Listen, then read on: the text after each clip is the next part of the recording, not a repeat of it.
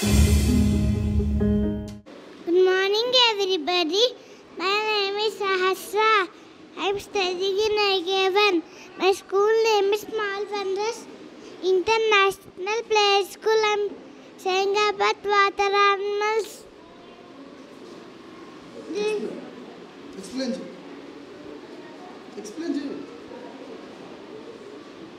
This is well, well is very big in size. This is shark. Shark has sharp teeth. This is tortoise. Tortoise have horse on his body.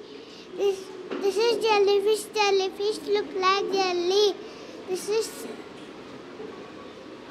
crocodile. This is frog. This is starfish. This is crab. This is tortoise. This is octopus.